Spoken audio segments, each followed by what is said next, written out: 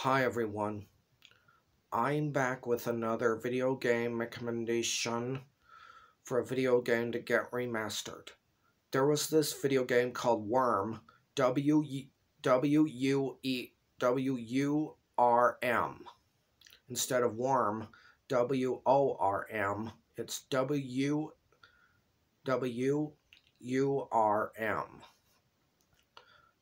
Journey to the Center of the Earth in this game, it's where you end up you end up exploring the center of the earth by drilling it, but only to discover that there is an evil empire down there that caught their invasions. And you play as a woman named Moby in order to rescue her her boyfriend Ziggy, who was taken, who was kidnapped from them but only to discover her boyfriend was had already died was already destroyed by that evil empire.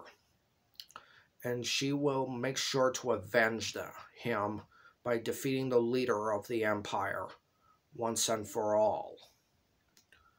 In this game you have to go through a series of levels and bosses. And once you do you'll be able to defeat the leader of the empire and and and stop him once and for all from conquering the surface world.